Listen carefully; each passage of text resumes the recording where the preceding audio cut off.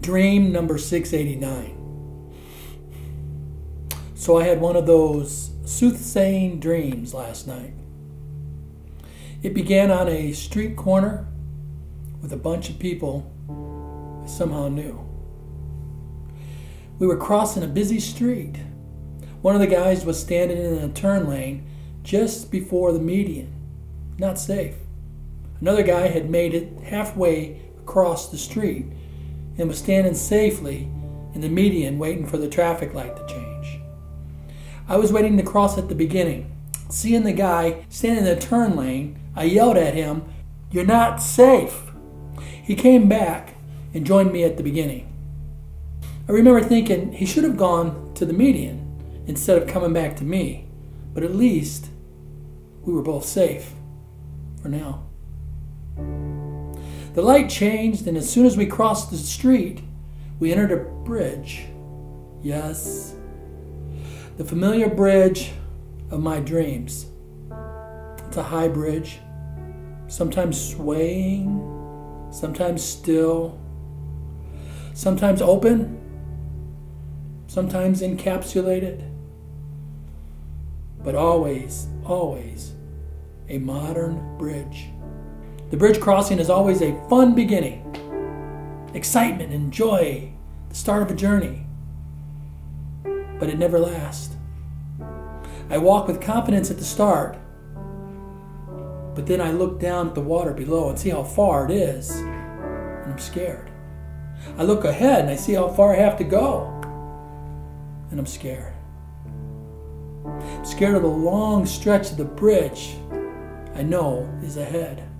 There have been dreams, many dreams, where there is a drawbridge in the middle, and just as I get there, it's going up. And I get to the edge and I see the other side of the bridge. That's been most of my dreams. The bridge dreams, that is. Not this time, nope. I was already at the end of the bridge. And from that point, I could see a damp landing just a few steps below me, and I immediately leaped and left the others behind. Yep. Yes, sirree. Impulsive Terry. Yep. Jumps without thinking. There's a group of young people waiting on this elevator. Guys in their 20s, I would say, wearing leather jackets and flip flops. While waiting for the elevator, I see there's a window to the right. And I look out this window and I can see that I'm at the end of the bridge. And it leads to these brick buildings, which remind me of the fascist buildings of the 20s and 30s. I'm puzzled, but nonetheless excited. I push the elevator button repeatedly but nothing happens. We've been waiting a long time, one of the youngsters says. I now realize that youngster was me. I run back up the steps to the bridge where I'd left the others. They've moved on. I run back down the steps to the elevator platform. Still no elevator.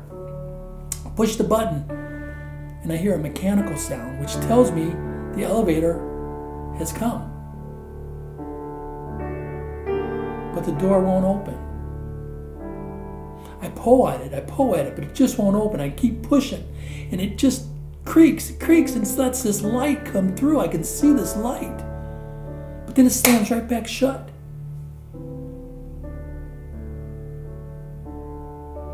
Elevators never open in my dreams. They never have. I don't know why. I try to force it, but it only opens slightly, like I said, then snaps back shut. The others behind me are laughing. We've tried it a dozen times, my younger self says. It won't open. Look out the window again. And I see the others that I had left behind are at the end of the bridge, the very end of the bridge. And in the lead of these people, there is a guy with a little baby. And he's at the very edge of the bridge. The guy with the baby's at the very edge of the bridge. However, the bridge is not complete. There is a gap. I follow the projected path of the bridge and I realize it will touch the ground, the shore, if there are more people on it. To weigh it down gently, it will connect. But there's something missing, and I know that thing that is missing is me. I need to be out there on that bridge to give it enough weight so it gently goes down and connects with the other shore. I run back up the steps and find a passageway that leads back to the beginning. Find another passageway, as there is always in dreams. That passageway would take me back down the steps to the elevator. There is no other passages.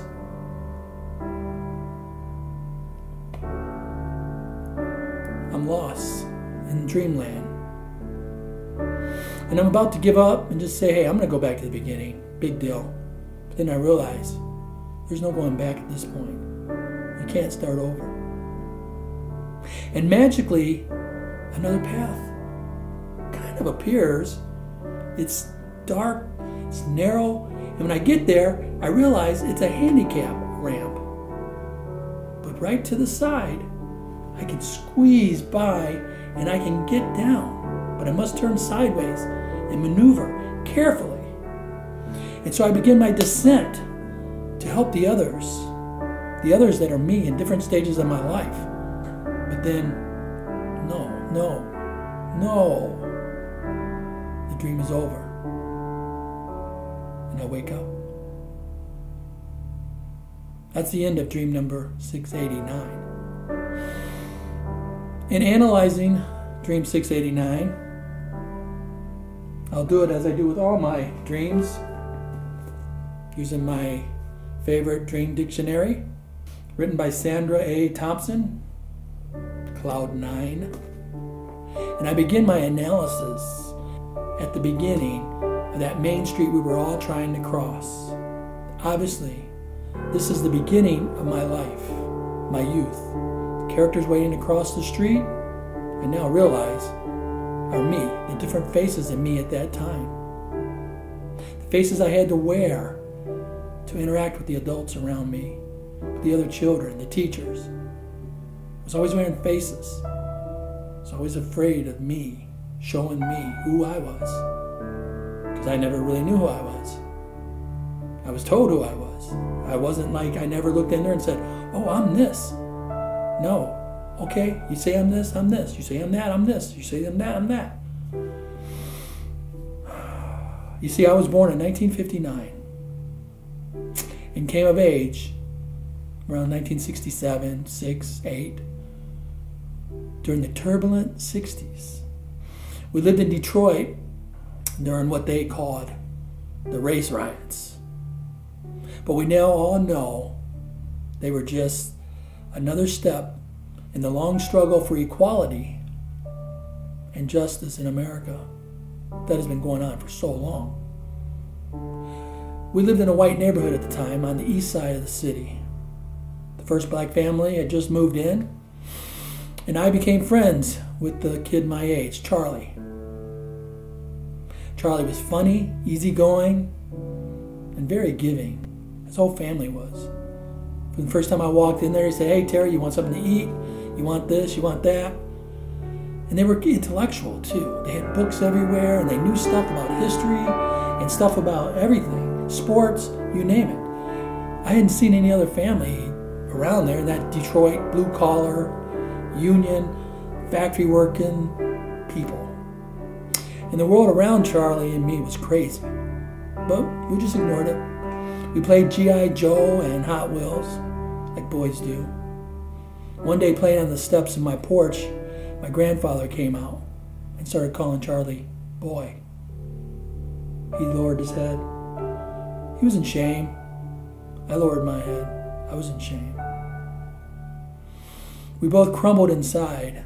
My grandfather was a racist, like most of the white people were that I knew back then.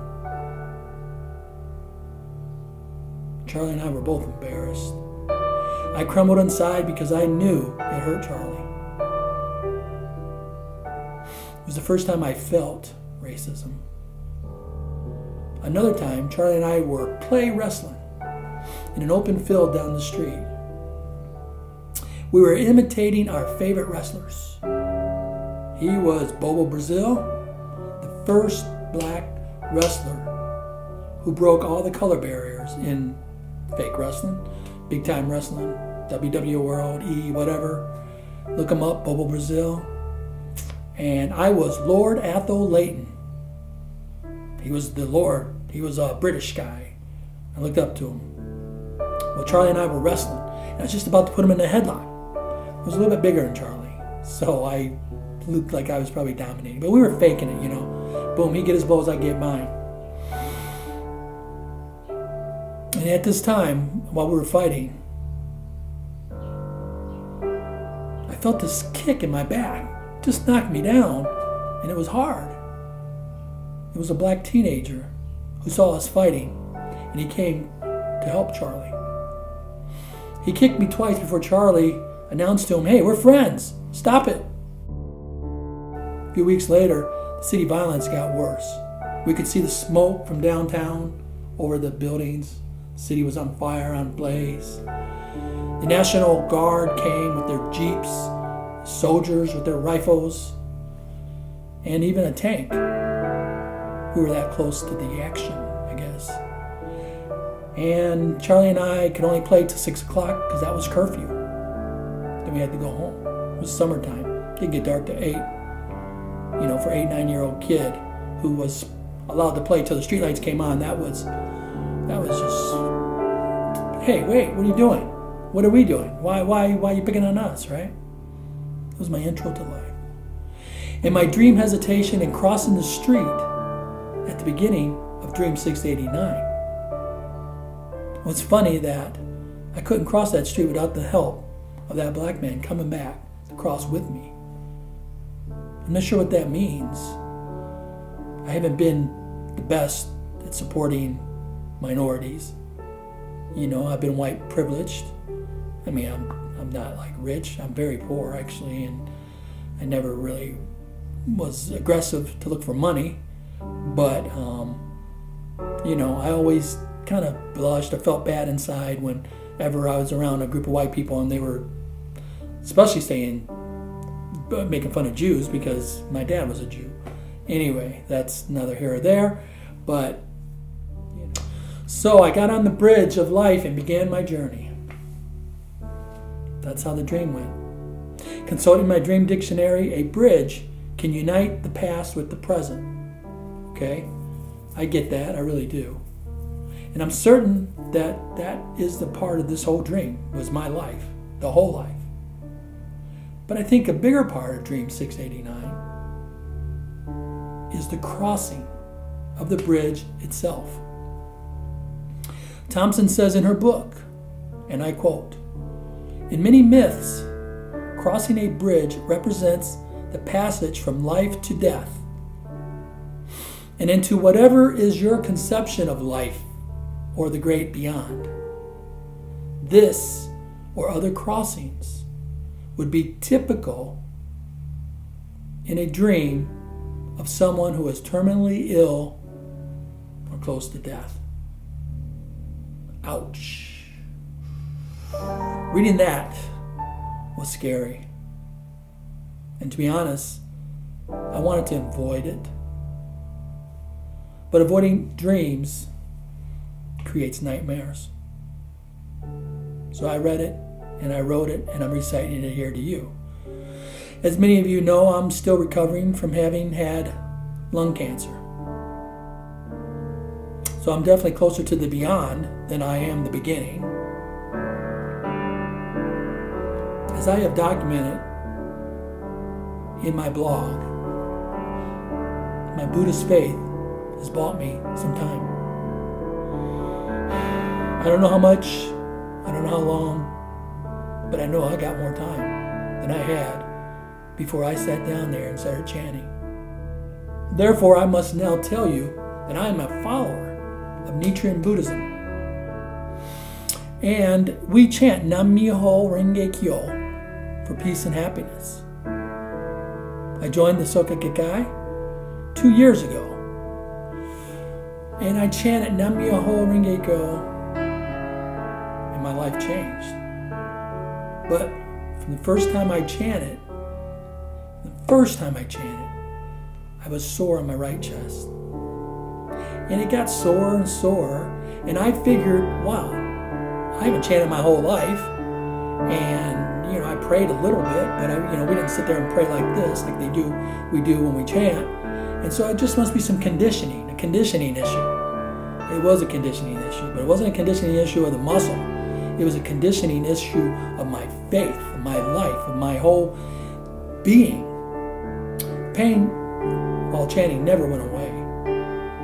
Little bit worse and worse, but it really wasn't a pain either. And I've seen that when I saw the doctors, they were kind of like, no, that little cancer cell in your lung was not creating any pain.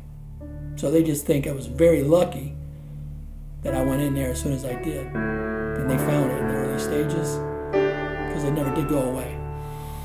And it was an early enough detection to where they could remove part of the lung that had the cancer in it. And today, thanks to chanting, I am a cancer survivor. I truly believe that chanting saved my life, gave me more time. Since having the cancerous part of my lung removed, my chest doesn't hurt anymore when I chant. And so I am the first in my family in a long line of people who died of cancer at a younger age than they should have. I'm the first one who has changed this family karma and got more time. Living a natural life is what it means. I mean, you, you're not going to chant, just live forever or anything, but you will chant for happiness and you will live your natural life. But our karma, the things we do, will shorten our life. Could shorten our life, I should say. But by chanting, and we believe we're changing our karma here today, not in the next life, I have changed my karma. And I have more time, and therefore I'm analyzing my dream with you and sharing my Buddhist faith with you. And by chanting, you will experience the happiness I have, and maybe you will be interpreting one of your dreams too. Which brings me back to my dream, finally. Back to the dream. I see now that that elevator door in my dream was death, is death. That light behind there. And that elevator door opens and I enter it. I'm on the other side. And, you know, I'll be talking to you from there too, I'm sure, but just in a different realm. But the elevator door hasn't opened. And that bridge of life that used to have rise in the middle as I was trying to earn a living and all that came down and I got across, got up again, came down. And over the years, there's just been crazy dreams about a bridge. I mean, that's been my life path along that bridge. So I'm in the last, I don't know, fourth or third, maybe the last third. That'd be great. That'd be another 20, 30 years. I'd love that. But I'm not expecting it or praying for it or whatever. I'm content with whatever life brings me. But I do want to tell you that I'm here. My karma has changed through chanting Nam Myoho Renge Kyo, and I definitely advise you to check it out. That's dream number 689.